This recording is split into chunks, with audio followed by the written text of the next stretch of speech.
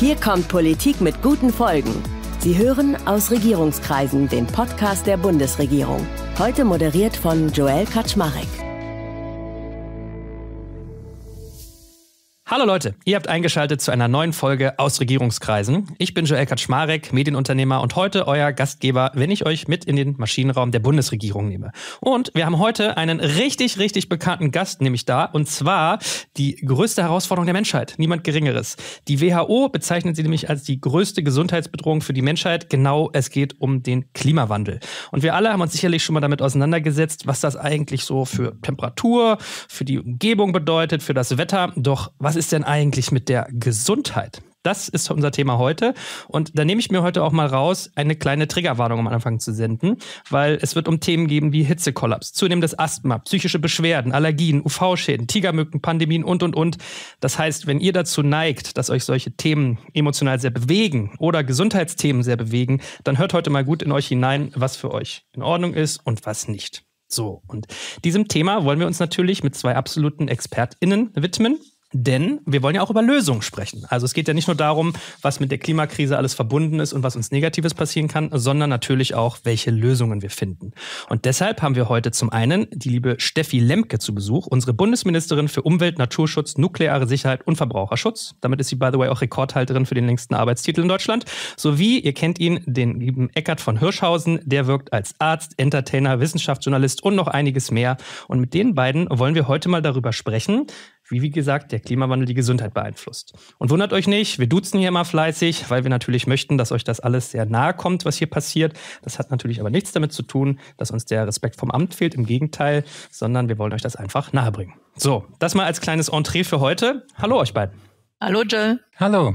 So, und ich meine, fangen wir mal vielleicht mit einem ganz aktuellen Aufhänger an. Es gibt nämlich zwei Beratungsgremien, und zwar den WBGU, das ist der Wissenschaftliche Beirat der Bundesregierung, und den SRU. Dabei handelt es sich um den Sachverständigenrat für Umweltfragen.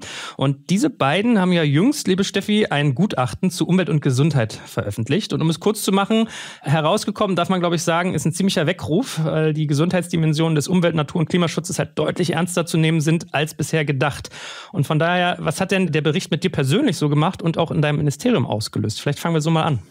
Erstmal ist es toll, dass diese beiden Gremien sich zusammengeschlossen haben, um einen gemeinsamen Bericht rauszugeben, äh, weil das natürlich ähm, die Durchschlagkraft von solchen wissenschaftlichen Erkenntnissen dann verstärkt. Und ähm, für mich ist es ehrlich gesagt in allererster Linie Rückenwind, weil äh, diese beiden Gremien und dieser Bericht äh, genau sagen, es muss das gemacht werden, woran das Bundesumweltministerium arbeitet. Also besserer Schutz der Menschen in unserem Land vor den Auswirkungen der Klimakrise, vor Hitze zum Beispiel, äh, dafür auch die Leistungen, die die Natur uns anbietet, besser zu nutzen als bisher, dann äh, besser auf äh, Chemikalien zu achten, das heißt äh, gefährliche Chemikalien besser zu managen, auch weltweit und äh, diese Dinge stärker voranzutreiben. Dafür kämpfe ich letzten Endes jeden Tag mein ganzes Ministerium. Das äh, machen wir äh, sowohl durch äh, Gesetzgebung, äh, durch Förderprojekte, aber manchmal eben auch gegen Widerstände in der Politik, auch in der eigenen Regierung. Eckart, deine große Stärke ist ja ansonsten auch immer Dinge, die die Gesundheit betreffen, sehr schön anschaulich und leicht verständlich zu erklären. Du hast jetzt, glaube ich, an diesem Bericht nicht direkt mitgewirkt, begleitest aber die Arbeit, die da natürlich im Hintergrund passiert, schon eine ganze Weile. Wie würdest du das denn zusammenfassen? Worauf soll sich Deutschland einstellen und vielleicht auch aus deiner Warte, was ist denn damit zu tun? Ja, ich war aber auch bei der Veröffentlichung der Berichte. Ich habe eine Stiftung gegründet, die heißt äh, Gesunde Erde, gesunde Menschen, um diesen Blick zu weiten von der persönlichen Gesundheitsperspektive eben auf die planetare Gesundheit. Das ist ein Wort, was in Deutschland noch gar nicht so bekannt ist, aber sich sehr schnell erklären lässt. Gesundheit beginnt eben nicht mit einer Tablette, einer Operation oder einem MRT, sondern Gesundheit beginnt viel früher mit der Luft, die wir atmen, mit dem Wasser, was wir trinken, mit den Pflanzen, die wir essen können, mit erträglichen Temperaturen und einem friedlichen Miteinander. Und alle fünf Grunddimensionen, alle fünf Voraussetzungen für ein gutes, gesundes Leben sind akut in Gefahr. Da musst du nur einmal in jedes Nachrichtenportal schauen.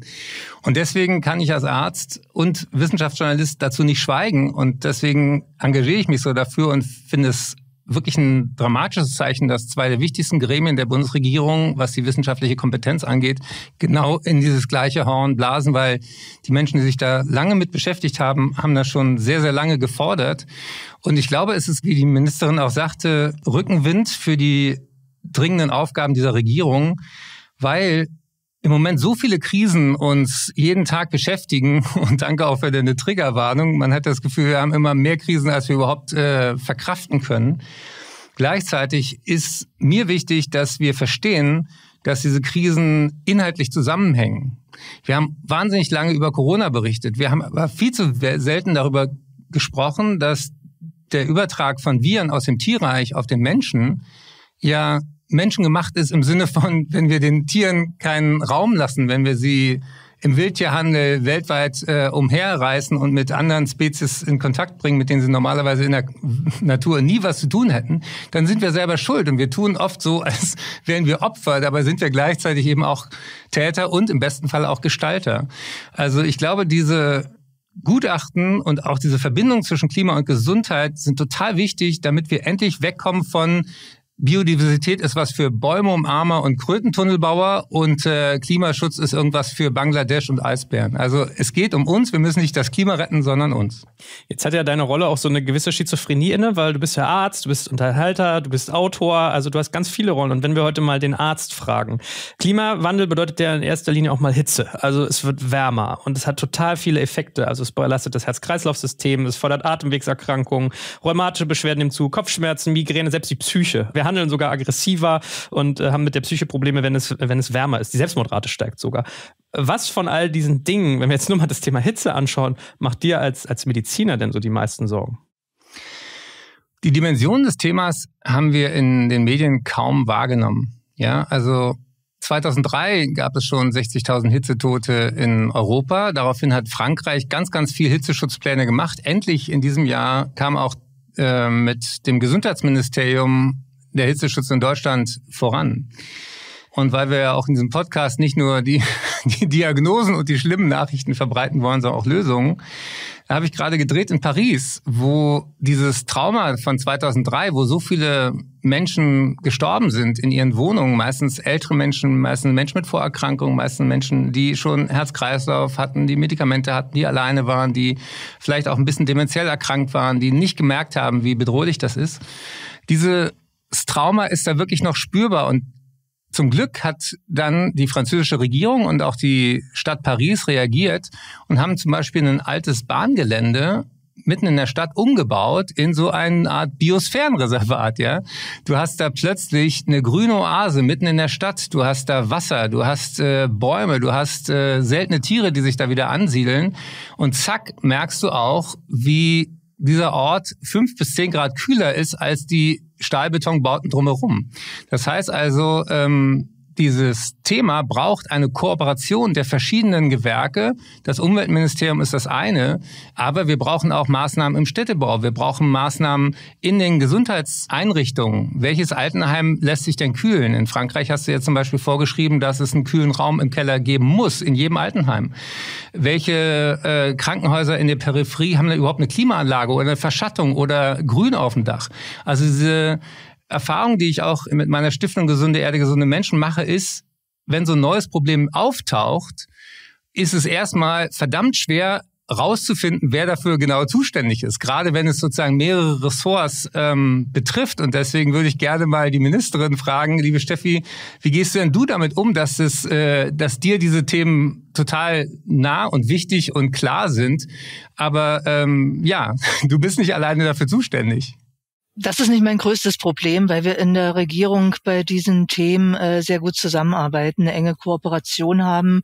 Zum Beispiel äh, ich mit dem Bauministerium oder auch mit dem Landwirtschafts-, mit dem Wirtschaftsministerium. Deshalb ist es ja gut, dass diese Regierung jetzt das erste Mal gesagt hat, Klimaschutz ist nicht was fürs Umweltministerium, sondern da sind alle Ressorts dafür zuständig. Der Haken ist dann äh, in der Tat immer, wenn es ans Machen, ans wirkliche Realisieren geht, das Ganze in die Praxis übersetzen und dann die Widerstände größer werden, auch die Komplexität, da haut es dann äh, schon manchmal zu, äh, wer in der Kommune was macht, äh, wie wir das in föderalen Strukturen machen. Beispiel Klimaanpassung fördert mein Ministerium genau das, was du eben gesagt hast, als einen wichtigen Problembereich, wie wir Klimaanpassung in sozialen Einrichtungen hinbekommen. Also Krankenhäuser, Pflegeeinrichtungen, äh, Kitas, wo die Menschen sehr viel Zeit verbringen, die besonders anfällig sind bei Hitzeereignissen, also die dann besonders unter Herz-Kreislauf-Problemen leiden oder kleine Kinder, die sich eben aufgrund äh, der Körperentwicklung noch nicht so gut an Hitze anpassen können. Dafür fördert mein Ministerium Projekte also so ganz konkrete Sachen wie zum Beispiel ein Sonnensegel auf dem äh, Spielplatz der Kita, damit da eine vernünftige Beschattung da ist und eine Abkühlung vorhanden ist. Das darf ich aber aufgrund der föderalen Strukturen nicht permanent machen, sondern im Sinne von Projektcharakter. Und das ist in Zeiten, wo wir merken, dass äh, die Klimakrise schon näher an uns rankommt. Ja, ich sage so ein bisschen, die Einschläge kommen näher. Wir hatten einen Sommer mit diesen schlimmen Überschwemmungsereignissen in Griechenland, äh, in Slowenien, äh, wo wirklich verheerende Ereignisse stattgefunden haben. Und deshalb müssen wir eigentlich alle Kräfte bündeln und dürfen uns auch so Quatschdebatten nicht mehr leisten, äh, die manchmal auftauchen. Es gibt gar keine Klimakrise. Äh, das mit dem CO2 stimmt so alles nicht. Also dem an jeder Stelle auch wirklich energisch entgegenzutreten, weil Menschen leiden unter der Klimakrise und äh, an bestimmten Men Stellen auch Menschen sterben wegen dieser Klimaveränderung. Du hast äh, die Hitzetoten erwähnt. Äh, wir haben ganz konkrete Gefährdung für Leib und Leben äh, durch diese Starkregenereignisse gehabt. Da ist unglaublich viel materielles Gut der Menschen auch vernichtet worden, äh, landwirtschaftliche Nutzfläche, die ähm, eben nicht mehr für die Lebensmittelerzeugung zur Verfügung steht und uns deshalb noch viel, viel stärker auf das Lösen der ganz konkreten Probleme zu konzentrieren. Also in der Praxis vernünftige Vorschläge zu machen, wie wir gemeinsam vorangehen können. Das müsste eigentlich äh, für alle politischen, alle wissenschaftlichen Kräfte äh, von der Bundespolitik bis hinunter in die Kommune über überall der Maßstab sein. Und ich meine, um dem Ganzen wirklich mal eine Zahl dran zu schreiben, also das Ärzteblatt hat zum Beispiel analysiert, dass die Hitze, die wir in Baden-Württemberg hatten, von Juni bis August 2018 fast 2000 Todesfälle bedeutete. Also das sind 7,5 Prozent der Todesfälle in diesem Zeitraum. Und jetzt ist ja mal interessant von dir zu hören, was tut denn die Bundesregierung schon und wie priorisiert ihr auch? Also da geht es ja wirklich erstmal nur um Wärme, um sozusagen Temperatur und was es mit dem Körper macht. Zu den ganzen indirekten Themen kommen wir ja gleich noch. Aber ihr habt bestimmt schon Werkzeugkasten, den wir ja mal betrachten können. Das ist das eine Förderprogramm, das ich eben erwähnt habe. Ja, Klimaanpassungsmaßnahmen in sozialen Einrichtungen, wirklich ganz handfest äh, diese Baumaßnahmen, Umbaumaßnahmen finanziell zu unterstützen.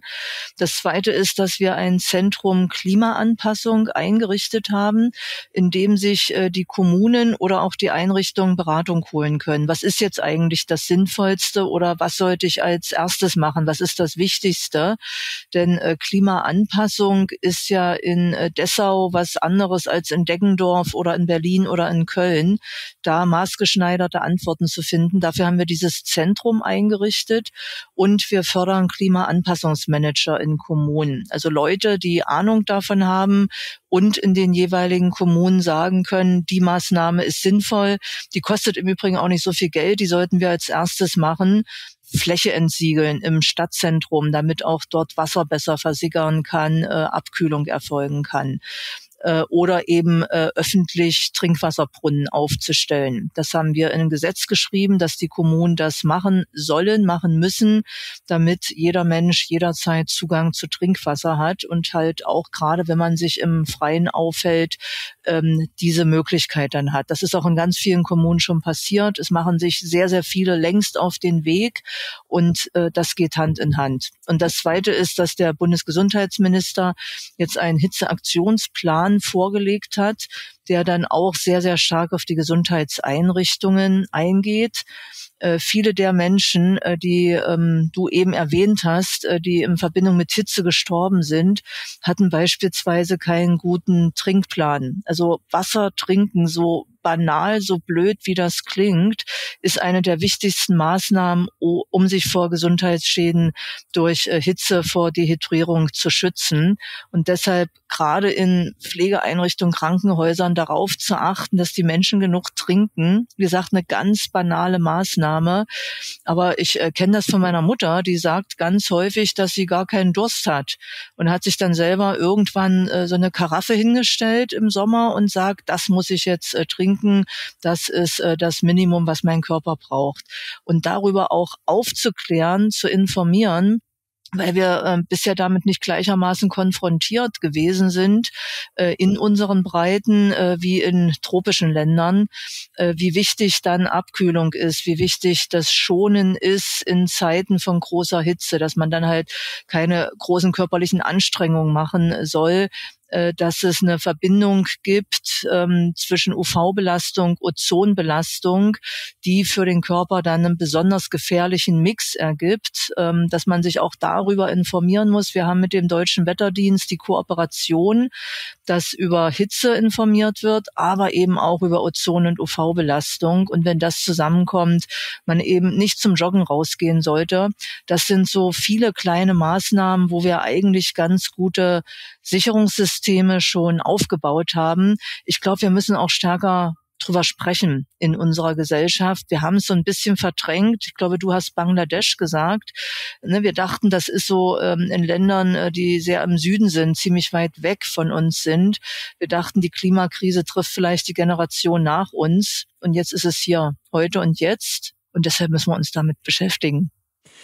Eckart, lass uns doch vielleicht noch äh, einen abschließenden Satz zu den Gesundheitseffekten verlieren, weil wir haben bisher über die sehr direkten geredet. Es gibt ja auch indirekte. Also um mal ein paar Beispiele aufzumachen, Allergien etwa. Pollensaison fängt früher an, hält länger, die Pollen werden intensiver.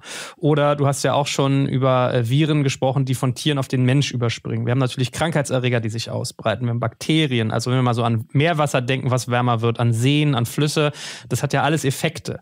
Oder auch, äh, Steffi hat es eben angedeutet, mit der Luftfeuchtigkeit wenn die Luftfeuchtigkeit zunimmt und die Temperatur steigt, dann können wir unseren Körper nicht mehr kühlen, weil der Verdunstungseffekt, den wir durch Schweiß haben, sozusagen äh, abnimmt. So. Und wenn du jetzt nochmal so Big Picture das alles äh, mit aufnimmst, du bist mir davon auch ein bisschen ausgewichen. Ich habe dich gefragt, was macht dir am meisten Sorgen? Und du hast richtigerweise schon über Lösungen geredet. Aber ordne doch nochmal ganz kurz ein, wirklich die Brisanz von solchen Aspekten und dann können wir uns ja mal rüber retten in Richtung Lösungsansätze. Es ist mit Abstand die größte Gesundheitsgefahr im 21. Jahrhundert. Drunter kann man es nicht erklären. Und ähm, diese Themen hängen sehr, sehr eng zusammen. Weltweit ist Killer Nummer eins zum Beispiel Luftverschmutzung. Redet man darüber jeden Tag? Nee. Fast alle Menschen auf diesem Planeten atmen dreckige Luft ein. Wir haben in der Corona-Pandemie gesehen, dass Menschen, die dreckige Luft einatmen, auch wieder anfälliger sind für Infektionskrankheiten.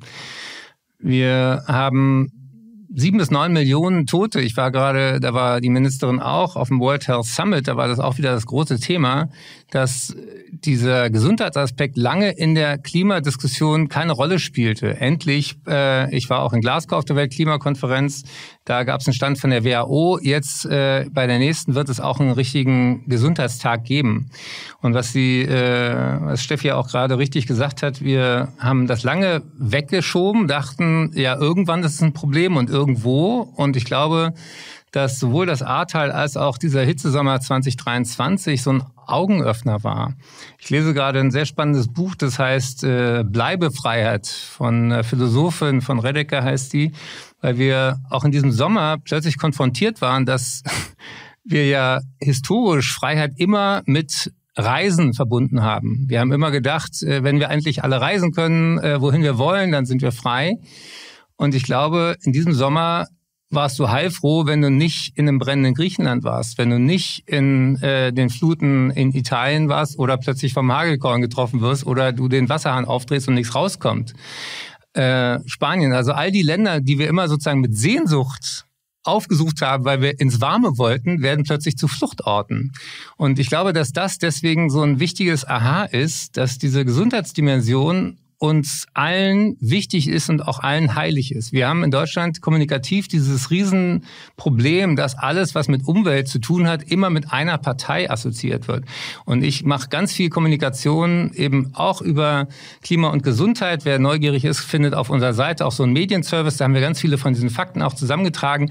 Dieses Thema gehört weder einer Partei noch einer Generation noch irgendeiner bestimmten Bubble. Es geht uns alle an. Wir sind alle betroffen und wir sind die erste historische Generation, die hautnah mitkriegt, was passiert und wir sind die Letzten, die was dran ändern können. Also wir haben eine Jahrhundertaufgabe und weniger als zehn Jahre Zeit. Und diese Dringlichkeit haben viele wirklich noch nicht verstanden. Deswegen können wir gar nicht genug darüber reden, aber auch gerne über die Lösungen, weil sonst werden wir alle noch depressiv heute. ich glaube auch. Steffi, es kam ja auch eingangs schon ähm, eine interessante Frage, die ich nochmal vertiefen möchte mit dir. Und zwar, wir haben aus dem Publikum, wir sammeln auch immer gerne mal Stimmen vom Volke sozusagen ein, ähm, eine Frage, die über auf eure Zusammenarbeit abzielt. Und die klingt so aus anderer Perspektive. Ja, hallo und einen lieben Gruß in die Runde. Mein Name ist David Wortmann. Ich bin selber Unternehmer und Politikberater im Bereich Klimaschutz und Cleantech. Die Frage, die mich total interessiert in Richtung der Umweltministerin ist, Gibt es denn bereits schon eine Zusammenarbeit zwischen dem Umweltministerium und dem Gesundheitsministerium, um integrierte Ansätze zur Bewältigung von den klimabedingten Umweltauswirkungen auf die Gesundheit der Bevölkerung zu entwickeln? Ja, die gibt es. Äh, das ist ganz konkret äh, der Hitzebereich. Das heißt, hier arbeitet das Umweltministerium ganz eng mit dem Gesundheitsministerium zusammen, um besseren Hitzeschutz für unsere Bevölkerung zu ermöglichen. Deshalb äh, haben wir auch diesen Hitzeaktionsplan zusammen entworfen und dann vorgestellt. Und das ist ähm, der Punkt, den ich vorhin beim Deutschen Wetterdienst erwähnt hatte, den ich unglaublich wichtig finde, dass wir nicht nur auf die Temperatur gucken, sondern auch auf sowas wie Ozon- und UV-Strahlung, wo zum Beispiel das Bundesamt für Strahlenschutz, ja, das gehört zum Bundesumweltministerium, die Daten liefert, die wir dann so für die Menschen aufbereiten, dass man sich über Risiken gerade an heißen Tagen umfassend informieren kann. Das heißt, nicht auf eine singuläre Geschichte zu gucken, sondern auf alle gemeinsam. Und äh, ich bin da sehr bei dem, was Eckert von Hirschhausen gesagt hat. Es darf nicht sein, dass äh, Umwelt äh, oder Gesundheit oder jetzt die Verbindung zwischen den beiden irgendwie einem Ressort zugeordnet werden. Ja, das ist äh, eine so große Bedrohungslage einerseits und eine so große Aufgabe, uns darauf vorzubereiten und anzupassen und äh, andererseits den CO2-Ausstoß zu reduzieren, dass das wirklich alle angeht und das alle machen müssen. Das geht überhaupt nicht mehr anders heutzutage. Und äh, wenn ich da auf jeden Fall irgendetwas nicht haben möchte, dann ist das Ownership. Also jedes einzelne Ressort oder jede einzelne gesellschaftliche Kraft wäre damit überfordert, das alleine zu machen. Und ähm, es gibt ja auch äh, in unseren äh, Kommunen überall Menschen, egal in welcher Partei die sind oder was die für einen Job haben, wie alt die sind. Es gibt überall welche, die die Dramatik des Problems erkannt haben und äh, die die vielen kleinen Schritte, die wir gehen können, die wir gehen müssen, um uns selber zu schützen, auch schon längst angefangen haben zu gehen. Und das ist ehrlich gesagt das, was mir dann auch äh, Mut gibt, dass wir diese vielen verschiedenen Problemlagen, die jetzt eben zusammenkommen, auch wirklich bewältigen können. Das heißt, äh, bisher ist den Menschen immer noch was eingefallen, um gegen solche Krisen vorzugehen. Und ähm, ich bleibe der festen Überzeugung, dass uns das auch diesmal gelingen wird. Hauptsache, du sagst jetzt nicht Technologieoffenheit. Dann, dann bin ich. Nee, ich habe immer gesagt, weißt du, beim, äh, beim Thema Wasser, das ist ja eins, was uns beide, glaube ich, äh, sehr, sehr stark umtreibt, ne, als äh, das wichtigste Gut, was wir haben, unser Lebenselixier. Und äh, so ein unglaublicher Luxus, wie wir in Deutschland haben, dass du jederzeit irgendwo hingehen kannst, an so einem Rad an der Wand drehst und dann kommt da sauberes Trinkwasser raus, äh, kühl, äh, dass du jederzeit zu dir nehmen kannst. Das kennen ja wahnsinnig viele Länder auf der Erde überhaupt nicht. Diesen Luxus auch anders wertzuschätzen, das ist mir ein wirklich wichtiges Anliegen. Und ich habe immer gesagt, äh, beim Thema Wasser sind wir überhaupt nicht technologieoffen weder wir Menschen äh, noch Pflanzen und Tiere. Wir brauchen es schlichtweg und zwar jeden Tag. Ich möchte das gerne noch ergänzen, weil eine große und gefährliche Illusion ist immer, dass wir uns irgendwie entweder rauskaufen können durch irgendeinen magischen Staubsauger, den wir erfinden, der plötzlich alles CO2 wieder aus der Atmosphäre holt. Das ist physikalisch äh, Bullshit, das muss man auch so sagen. Zweitens ist die große Illusion, wir können uns irgendwie anpassen. Ja, Menschen äh, in anderen Ländern leben schon lange mit der Hitze. Die leben auf einem extrem, sagen, fragilen Extrem, wo, und das ist jetzt auch leider Fakt, wir werden 2030 schon das 1,5 Grad Ziel reißen. Das heißt, diese Kipppunkte, wo du mit keinem Geld der Welt, mit keiner Innovation und auch mit keiner Reue wieder zurückkommst, werden immer realistischer. Und äh, das ist etwas, wo natürlich bei allem, was wir über Lösungen reden, mir auch ganz wichtig ist zu sagen, es geht alles unfassbar langsam. Samira El-Ouazil sagte, das ist doch wie eine Bombe in Zeitlupe. Und wenn wir jetzt eine Bombenwarnung bekämen, dann würden wir alle sofort reagieren. Aber weil es eben sozusagen in Zeitlupe passiert, sind wir Menschen extrem gut da drin, das die ganze Zeit vor uns herzuschieben. Und ich habe, damit es etwas äh, humoristisch vielleicht wird, auch einen Vergleich. Unser Verhalten der Klimakrise gegenüber ist so ein bisschen wie, wenn man nachts wach wird mit voller Blase. Hat jeder schon mal erlebt. Du weißt genau, was du jetzt tun musst. Du weißt auch, es wird von alleine nicht besser werden, sondern immer nur schlechter. Aber was tun wir? Wir machen die Augen zu und denken, wenn ich mich hin und her drehe, dann geht das Problem von alleine weg.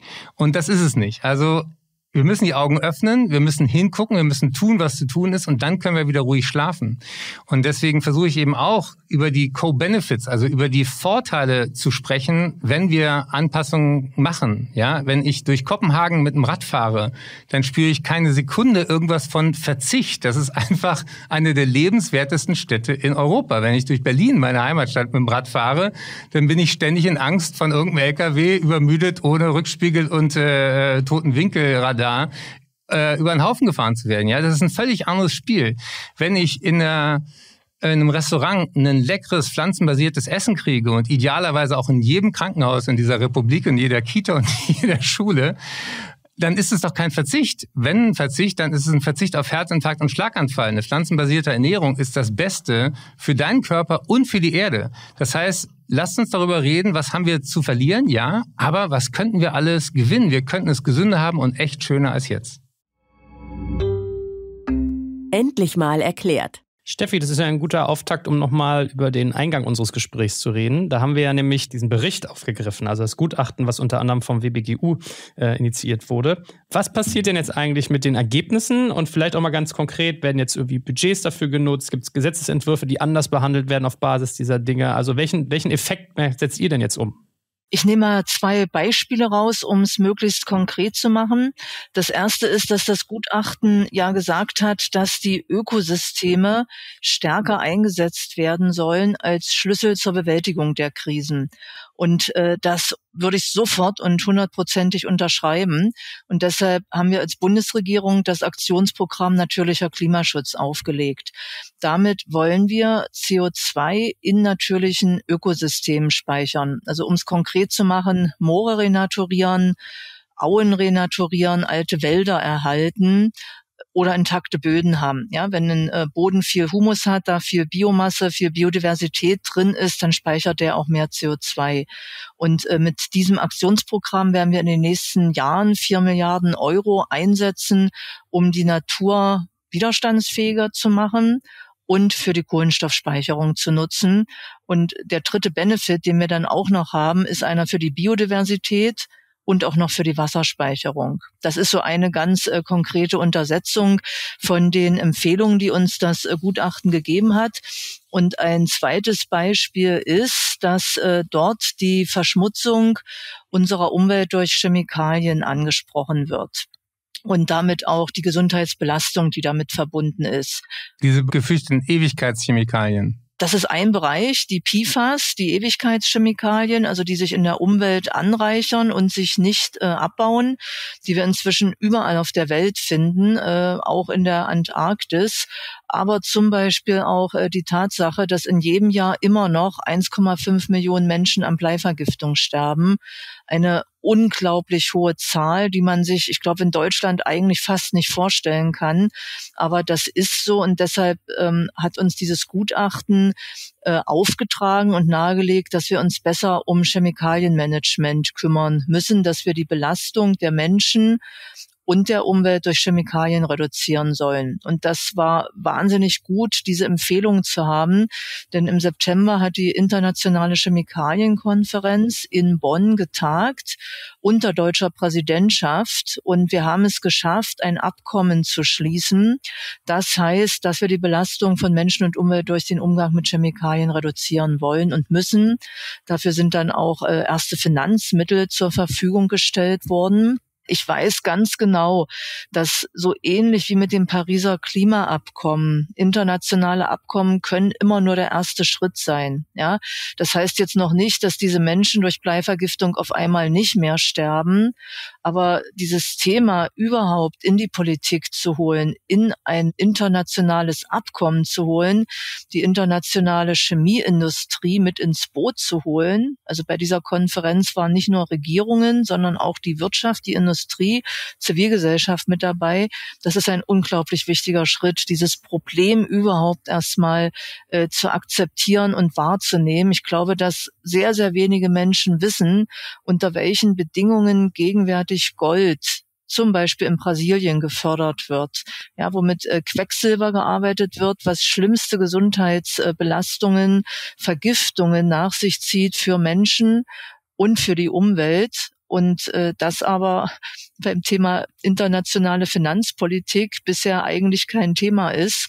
Und äh, da bin ich wieder bei dem Punkt, Umweltpolitik darf nicht alleine von Umweltministerien gemacht werden. Wir sind die, die Stimme der Mahner, wir sind die Wächter als Umweltminister. Ich sage mal, wir sind das Schutzministerium, aber wir brauchen äh, die anderen Bereiche, eben weil die Belastung, die Probleme so vielfältig und so komplex sind. Ich möchte das noch kurz ergänzen, um die Diskussion wieder nach Deutschland zu holen. Wir haben ja Riesendiskussionen über Energiewende. Stefan Ramsdorf hat was sehr Kluges dazu getwittert.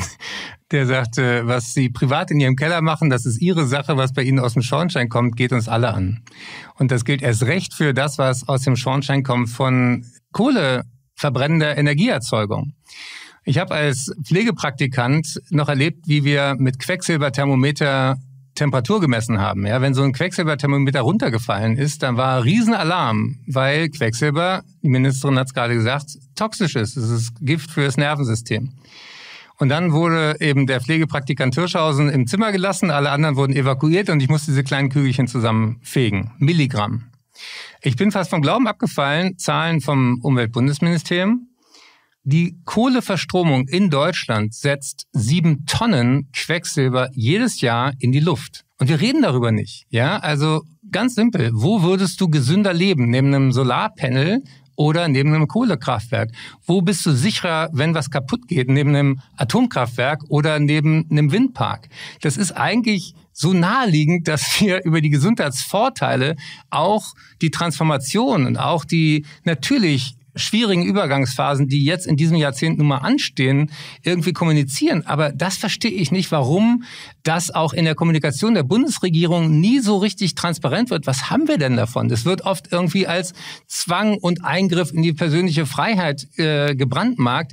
Aber die Eingriffe in unsere Freiheit durch eine kollabierende Erde ist so viel massiver, dass äh, dieser Vergleich mich wundert. Warum sind diese Gesundheitsargumente nicht auch bei der Energiewende ganz vorne dran? Ja, das ist das Problem, was wir äh, vorhin schon hatten. Ne? Man äh, denkt ganz oft, äh, für äh, Umwelt äh, ist das Umweltministerium zuständig.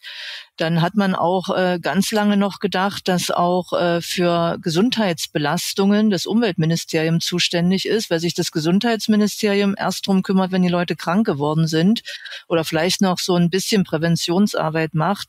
Aber eben dieses äh, Zusammendenken und dann auch gemeinsam handeln und sich gemeinsam dafür verantwortlich fühlen.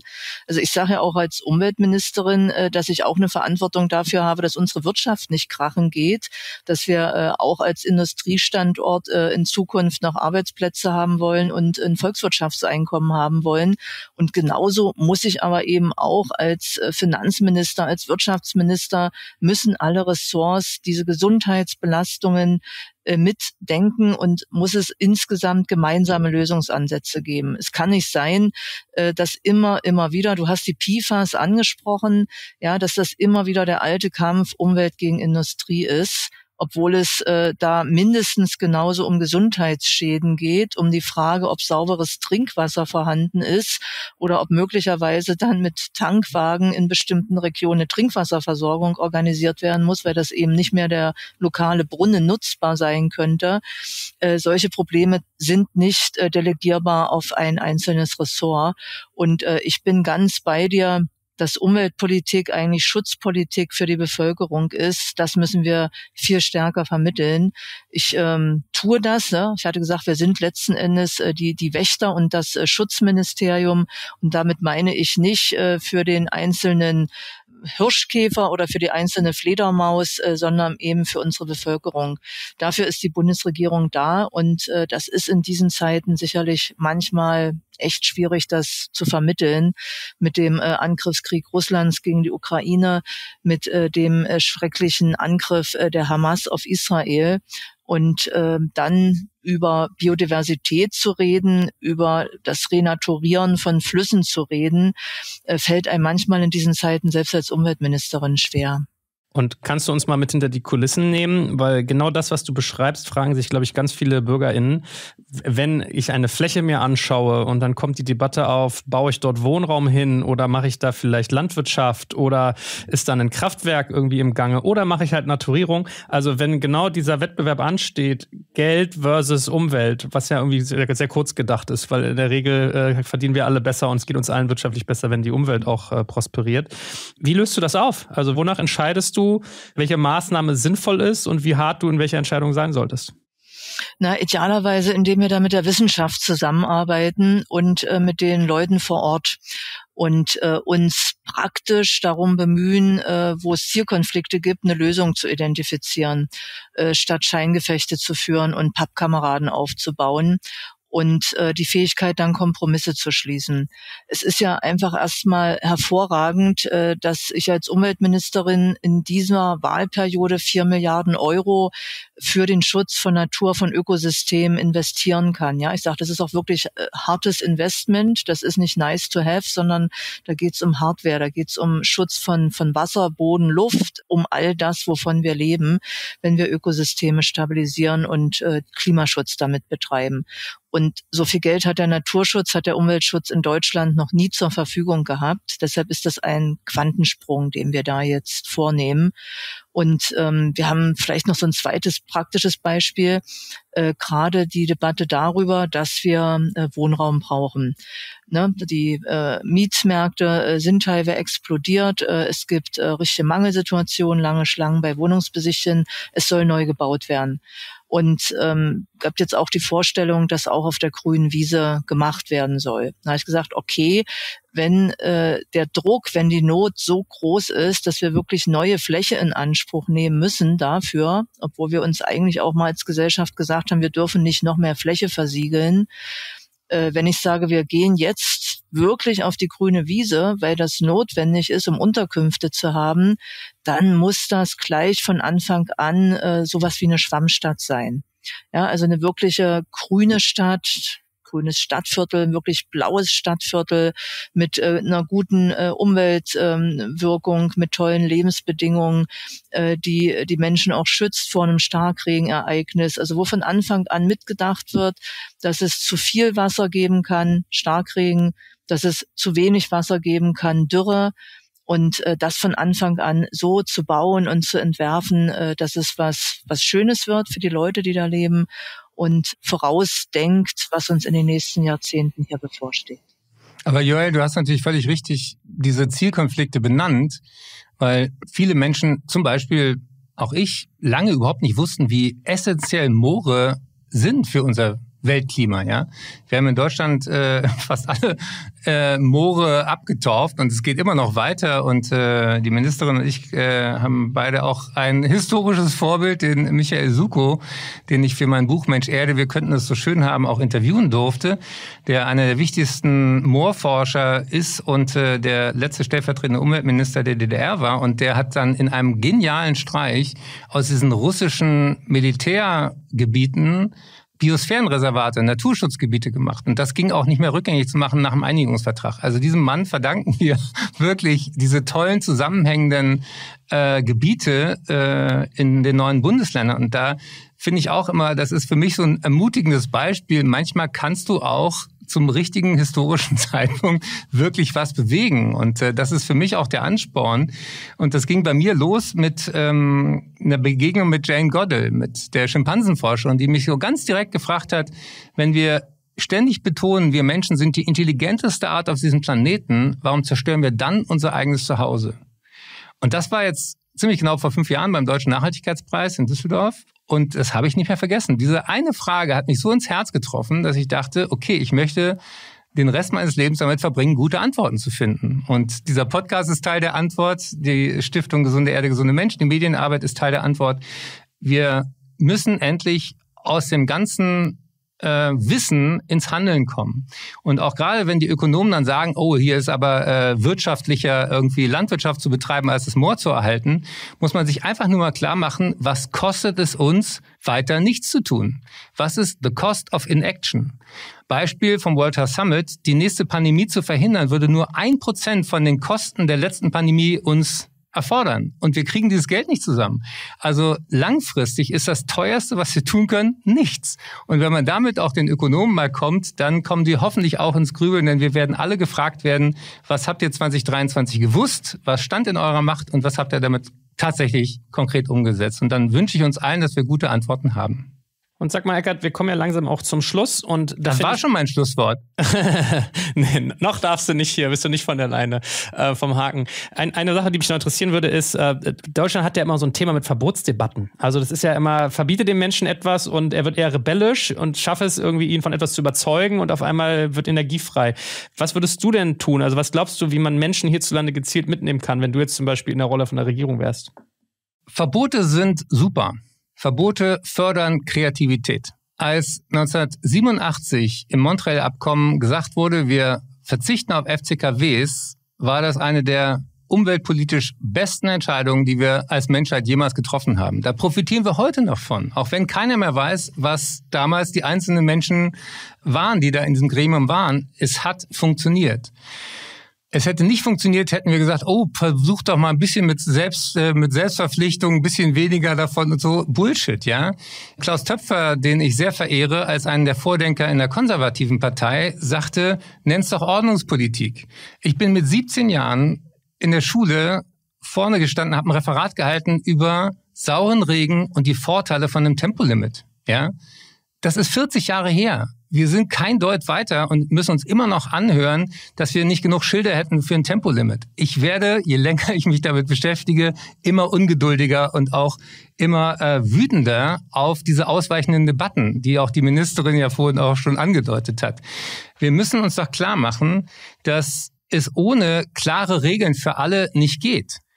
Und das ist erstmal eine Erleichterung Zwei Beispiele aus dem Gesundheitsbereich. Als das Rauchen in den Kneipen verboten wurde, da waren alle der Meinung, oh, furchtbar, furchtbar, die ganze Gastronomie wird darunter leiden. Nee, ist nicht passiert. Nach drei Wochen haben wir uns dran gewöhnt. Jetzt finden selbst die Raucher das cool, dass man da atmen kann und geht vor die Tür. Also wir unterschätzen die Fähigkeit von Menschen, sich an neue Bedingungen anzupassen. Und das geht nur, wenn man A, die Dringlichkeit kommuniziert, B, die Lösung und auch sagt, das gilt für alle und nicht immer das Gefühl hat, einige können sich da rauskaufen und andere nicht. Also verbindliche Regeln sind das A und O und der große persönliche Fußabdruck ist ein Ablenkungsmanöver von British Petrol, von der Ölindustrie gewesen. Du wirst diese Welt nicht mit Bambuszahnbürste und Jutebeutel retten, sondern mit Juterpolitik, wie der Berliner sagt. Gut, Steffi, wie gesagt, wir sind so langsam am Ende. Ich finde von dir nochmal spannend zu hören, was habt ihr euch eigentlich für Ziele gesetzt? Und vielleicht hast du auch nochmal eine kleine Anekdote, einen kleinen Blick in die Zusammenarbeit über die Ebenen hinweg, weil es ist ja ganz oft in deiner Arbeit auch so, dass es nicht nur um die Regierung geht, sondern auch um die Länder und um die Kommunen. Also ihr habt ja auch sowas wie das Zentrum Klimaanpassung, wo ihr solche Sachen auch koordiniert. Das finde ich zum Abschied nochmal eine ganz interessante Geschichte. Nimm uns doch mal an die Hand für Ziele und wie ihr eigentlich auch auf der vertikalen Ebene zusammenarbeitet. Naja, äh, Ziele ist äh, relativ einfach, ja. Äh, saubere Luft, äh, sauberes Wasser, gute Böden, äh, intakte Natur, äh, um für uns Menschen äh, die Gesundheit zu schützen und äh, die Produktionsgrundlagen auch für die Zukunft zu haben. Ja, also damit wir noch weiter Lebensmittel anbauen können. Äh, das ist als äh, Zielstellung relativ klar für ein Umweltministerium. Verbraucherschutz gehört bei mir mit dazu. Das heißt, das Ganze auch bezahlbar für die Menschen zu halten. Und äh, das dritte ist äh, nukleare Sicherheit. Das heißt, den Atom Atomausstieg auch äh, so zu vollenden, äh, dass diese strahlenden Abfälle sicher verwahrt werden, äh, weil wir ja da ein äh, Riesenproblem äh, für die nach uns kommenden Generationen hinterlassen, äh, die sich mit äh, diesem Strahlenmüll rumschlagen müssen. Und äh, wenn du nach der Zusammenarbeit fragst, ähm, ja, die haben wir auf äh, sehr, sehr viel verschiedenen Ebenen, auch auf der internationalen vor allem. Das heißt, äh, es gibt äh, Umweltminister in allen Ländern der Erde, die ich sehr, sehr schätze, wo wir eine großartige Zusammenarbeit haben. Manchmal findet man da mehr Unterstützung als zu Hause, weil du sehr häufig Leute hast, die wirklich verstanden haben, dass die ökologischen Zusammenhänge für uns essentiell sind, dass sie überlebenswichtig sind. Und äh, mit den Kommunen und mit den Ländern äh, gibt es einerseits die Umweltministerkonferenz, also wo sich alle 16 Umweltminister der 16 Bundesländer mit mir treffen, zweimal im Jahr und äh, dort gemeinsam äh, über dieses ja manchmal sperrige föderale System hinweg äh, Lösungen entwickeln. Und äh, mit den Kommunen haben wir eine äh, sehr gute Zusammenarbeit über den Städte- und Gemeindebund und dann über solche konkreten Projekte wie das Klimaanpassungszentrum.